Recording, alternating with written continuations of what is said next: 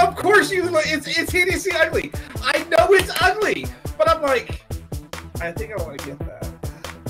Can I say the male one is hotter than I've ever seen a male Barbie look? Right?